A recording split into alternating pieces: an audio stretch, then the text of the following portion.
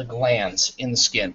And there are basically three kinds of glands you would find in the skin.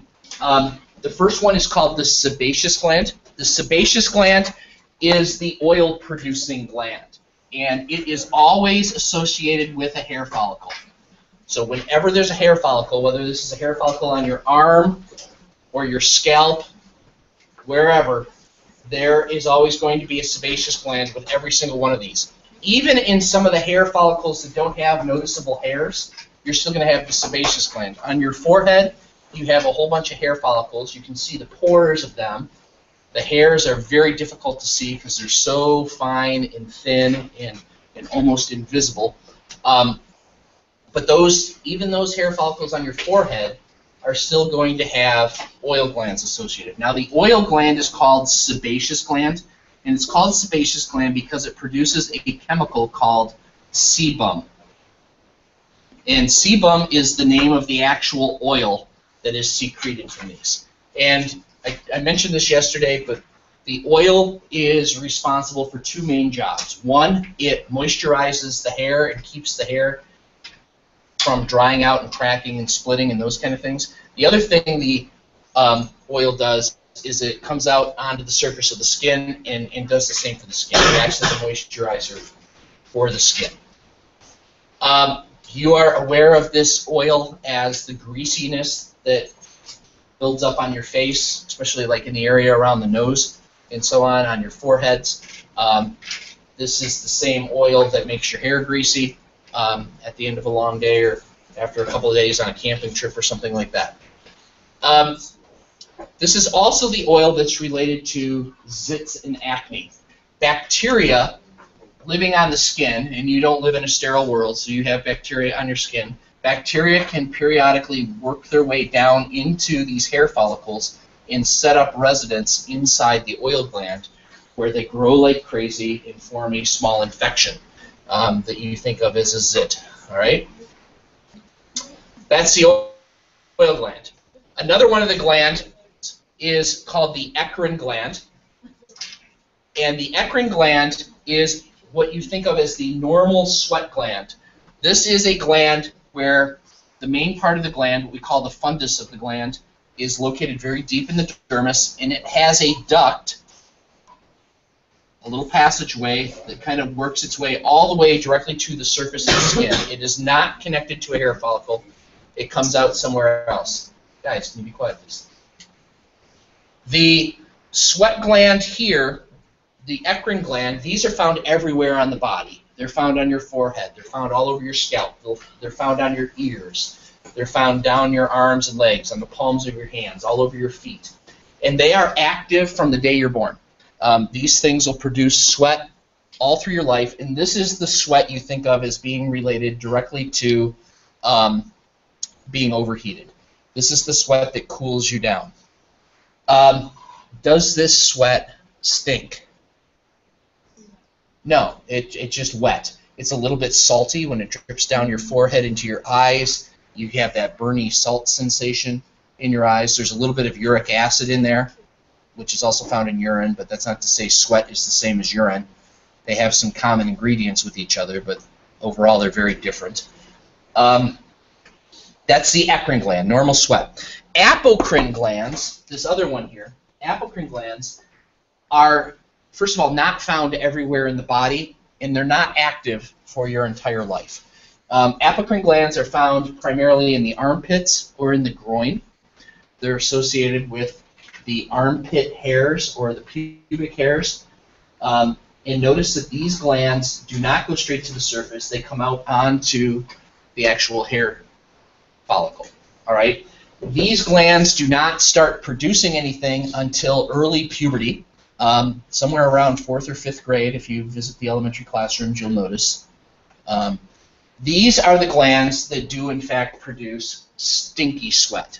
And when I say stinky sweat, I mean there's two different ways to be stinky sweat. The first way is when this stuff comes out immediately. If you take a if you take a shower, in fact, they did a study with this years ago where they had a bunch of men shower and put on a brand new clean T-shirt, sleep in the T-shirt, without having put on any kind of deodorants or colognes or anything like that. and then they gathered up those T-shirts and had women smell them and try and determine what was the most attractive smelling shirt. And the women found the shirts attractive smelling. Now, if the guy went to bed freshly showered, was he like full of BO by morning? No, but the sweat would release certain chemical pheromones that were basically chemical, or uh, what do you call it? Uh, pheromones. They're like sexual attractants, okay? And um, this is what is released from this kind of sweat. Now that's different than body odor. The same sweat that contains the pheromones also contains a nutrient balance that is very, very attractive to certain types of bacteria as well. And when this moisture smears across the undersurfaces of the arm, let's say, a place where the arms are down most of the time, that moisture is allowed to just kind of linger. Um, bacteria find that place warm, it's moist, and it's filled with certain nutrients, and the bacteria go crazy on it. And as the bacteria are living their life on the surface of the skin, they are releasing gases. And those gases we refer to as body odor. So the, the smell of this actual sweat is nowhere near as offensive as the smell of the body odor, which comes from the bacteria living in this sweat. Do you get the difference there? Now, deodorants and antiperspirants, how do they work? They're, first of all, they're very different chemicals. A deodorant is something you smear across the surface of the skin, and it's designed to do two things. Number one, and most importantly, it prevents the growth of the bacteria. It's a chemical that the bacteria find inhospitable to their own life, and therefore you don't grow the bacteria and you don't stink. The other thing the deodorants do is they also contain some kind of pleasant smelling something or other. Um, they smell like, I don't know, pick your flavor. Um, flavor? Okay, pick your scent. Is that a better? Like, you shouldn't lick your armpits and taste it. That, that's gross. Um, I don't want to know about it. Uh. I don't want to. I really don't. She told me it was chapstick. Oh, she told you the deodorant was chapstick? Well, that's yucky. That's what friends do? No, her sister. Oh, you're, oh, gotcha. I thought you did it. Okay, your si- well, that's, what- yeah, well, you should have known better. It's a sisters. Everybody knows sisters are evil. Um, deodorants prevent the growth of bacteria. Antiperspirants are supposed to keep you from perspiring. And the way an antiperspirant works is the antiperspirant, first of all, they usually contain a deodorant just in case you do sweat. The other thing the antiperspirants contain is a skin irritant. And when you put on the antiperspirant, the irritant, which is usually aluminum sulfate, soaks down into the pores, into the hair follicle, and it goes right into the duct of the apocrine gland, and it causes irritation, making this area of the skin swell up. And if you swell the skin around a narrow tube, you pinch off the tube, and that prevents the sweat from coming out. This is one of the reasons why antiperspirants can lead to a burning sensation under the arm. Um, in certain brands, people sometimes have to experiment with brands. You try one brand and it doesn't work, you sweat like crazy with it. You try another brand and you don't sweat, but it feels like your armpits are on fire all day. And you, you um, so you got to find that balance point for an antiperspirant that number one prevents you from sweating like crazy, and number two doesn't burn. Um, and the reason they burn is because they're just flat out an irritant. Some people sweat excessively. Uh, there's a condition called hyperhidrosis, and they actually end up having to rely on like prescription strength antiperspirants um, that very much burn, uh, leave a burning sensation. Although those people kind of get used to it after a while. Um, anyway, questions about the oil gland? Questions about the eccrine gland? Wait, are those, is that supposed to be the first thing? And that little bottom left? Right here? What does it say? It said the sweat glands are coiled and tubular. Um, you can see that over here when we look at. By the way, which kind of gland is this in this picture?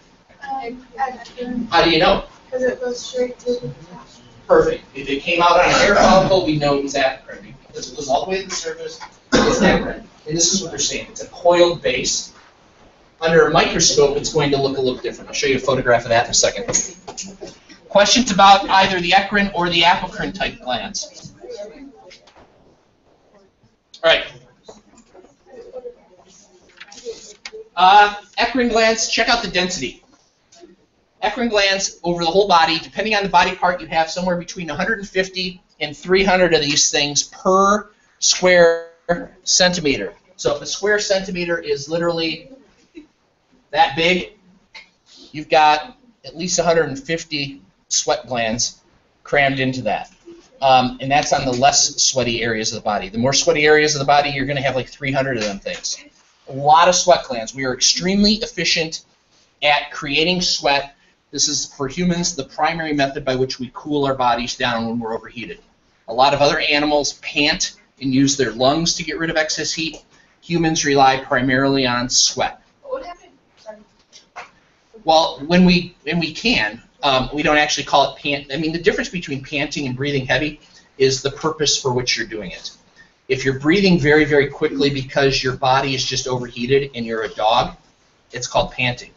If you're breathing very very quickly because you're running a race and you're a human, it's because you just need oxygen and you're breathing Oh. fast to get it. So like, what if we were hot and we started panting? panting, two things would happen.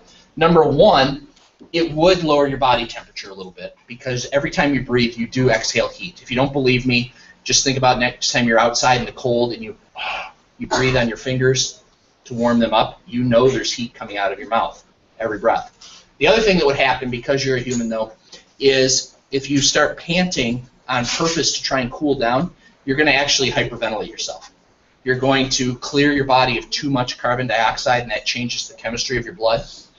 Um, it causes your blood to become extra alkaline, and that can actually lead to you passing out and so on. At which point in time, your brain will kick in and make you breathe at a more normal pace. Okay. So, um, okay. So sweat glands. Those are the eccrine glands. You've got gobs of them. Um, apocrine glands are a little more rare because they're only in a couple areas of the body. Here's what a typical sweat gland looks like under the microscope. Doesn't matter if it's apocrine or eccrine. Um, you see distinct rings of cells, usually stratified cuboidal. You can see two rows of cuboidal cells around that lumen. Um, and you see them in little donut rings. All right? That's the typical appearance of a sweat gland. If you look at, sorry, if you look at a oil-producing gland, they look a little bit more like fat. Um, the difference between this and actual fat are the presence of all these nuclei. If you were to erase these nucleuses from this image, it would look just like fat to me. So it looks like fat with nuclei, and that's kind of appropriate when you consider the fact that these are oil-producing cells, and fat is basically an oil. So there it is. There is a very close similarity between the oil glands and fat tissue. All right. Um, although these are not considered um, connective tissues, they are in fact considered epithelial tissues, cuboidal cells making oils. Um, all right. The oil-producing glands. Um, as I mentioned, this is going to be something that moisturizes hair and skin and keeps it flexible and so on. And these are also the oil-producing glands are the ones that become infected with acne. I'm going to sneeze. Excuse me. Um, the, the so the progression of a zit. Um, first of all, bacteria come into the gland, and that can cause the gland to become infected um, and lead to the production of pus, which is what becomes the whitehead on the top of a zit. That's very different than what's going on in a blackhead. Um, blackheads aren't infected pores. What a blackhead is, is it's usually a pore that's kind of wide open, typical around the nose area where we have very, very wide pores. And your stratum corneum cells that are constantly sloughing off and mixing with the oil that's being produced by these glands creates kind of a, a paste of dead skin that can pile up in these pores. Why is it so hot? Well, it's there's two different things here. There's blackheads and whiteheads. The blackheads you see is like the little black dot in the pores. The top of it comes out white. Oh, because underneath that there's going to be a buildup of the oils. Okay? And so yes, you can I mean people squeeze their blackheads sometimes. Sometimes they come oozing out like a little worm with a little black head on the end. That's the term blackhead. Um, these aren't necessarily infected though. by the way, have you ever tried these? I've always wanted to do this, and I've had students tell me about it, but I've never tried one. These things that you get from like Clearasil or something, and you like stick them, you put them on your skin, and you hold them there for a while or something, and when you pull them off, they look like little, like all the little things come popping out of your nose and stick to it. They work. I gotta get one of those and try it sometime. Just- It kind of hurts when you pull it off, kind of like ripping a band-aid sensation. It's not that bad. Course. Okay. Um, an actual zit is where there's infection, and the white stuff is is actually pus, which is a mixture of your own dead white blood cells that died doing battle with the bacteria, and it includes quite a bit of the bacteria itself. And there's a big, strong temptation to squeeze zits when they get to a certain size. You can feel the pressure in there, and it's like you have this desire to just relieve the pressure. And sometimes that just involves people, you know, aim for the mirror and and squirt. And the problem is, is it's very risky. It's great if you squeeze it and it squirts out onto the mirror. Then it's instant relief. This pus has just been ejected from your body. The bacteria went with it. You've cleaned out the pore, and you're on the road to recovery. However, it can actually go quite bad. You can have situations where when you squeeze the zit, it doesn't squirt out the opening of the hair follicle. Instead, it bursts and ruptures and just goes down deeper into the skin, at which point in time you get these gigantic infections. And I had one on my forehead once that I thought was ready for squeezing, and I went, and I felt it burst, but nothing came out. And I was like, oh no. And the next several, I mean, it felt like it lasted the rest of the semester. I was in college, and I had this thing on my forehead that was huge, and it hurt. Touching it was like, oh, it bring tears to your eyes, and I could feel every heartbeat. I didn't need to like hold my wrist to take my pulse. I could count it on my forehead, like one, two. I just feel every beat. What? Done a little slice and squeezed it out. You guys seen that YouTube video on the? Oh, that no, I'm not showing it. It makes me honestly ill. Um, but it's like, yeah, this guy has a big zit on his back, and a girl takes a scalpel and slices it, and she squeezes out like a coffee cup full of pus, and it's like unbelievable. I can't show it in school anyway. There's tons of profanity in the video as they're squeezing this stuff out, and, and it's weird because it's the first time I've ever seen a YouTube video where watching it, I smell a smell and I taste a putrid taste. It's like, how do they do that? It's like it's so psychologically damaging to me. I can actually taste a bad flavor in my mouth watching the video. Sit What's the C word? for what? Yes. Yeah. Oh, yeah, where you get little cysts. Yeah. Um, well, when we say normal acne, there's there's the occasional zit, and then there's the medical condition of acne. Um, and some people are just prone to the acne. My older son needed to be on prescription drugs for acne to keep, you know, he had to be on an antibiotic all the time. He actually still is. He uses prescription creams on his face to try and keep his complexion somewhat clear. If he doesn't use those medications, the acne gets bad enough that it'll actually scar his skin, and he probably has some scars on there from that. And that's just something that affects a certain percentage of people during their teenage years and sometimes into their early 20s, and then it goes away. And that's different than the occasional zit. I never had like full-on acne, but from the time I was 12 to the time I was about 38, I would get the occasion. I still get the occasional zit, but it seems until I was about 38, I always had at least one zit somewhere. It was either my forehead or around my nose. So when you talk about the cystic acne, that's a that's more of a medical type condition. We can talk about that tomorrow when we do disease day. All right, little poem here. Innocent Elliot Pitts was casually picking his zits when one he eroded abruptly exploded and blew the four fellow. Blew the poor fellow. Blew the poor fellow to bits. Uh, so don't squeeze your zits. It can be very risky. Uh, you can blow up your house and everything. Um, all right, that's it.